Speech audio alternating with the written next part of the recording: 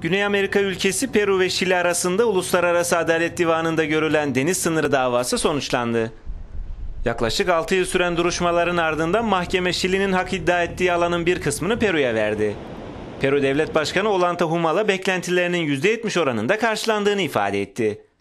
Karar doğrultusunda Şili'nin kıyılarına yakın bölgelerdeki egemenliği onaylanırken tarafların hak iddia ettikleri bölgeyi ikiye bölen yeni bir sınır ortaya çıktı.